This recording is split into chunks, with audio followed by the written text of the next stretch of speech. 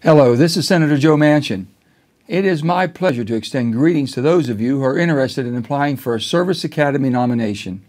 Thank you for participating in this important informational session. I applaud your ambition to pursue your education as well as the obvious dedication you have to our nation.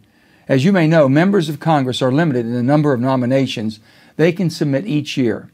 I will nominate carefully selected candidates to fill vacancies at the West Point, Air Force, Naval, and Merchant Marine academies.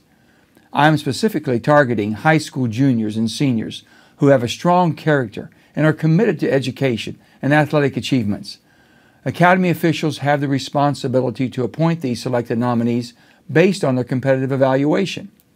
This year, I have updated the process to include online application in order to make it more accessible by everyone.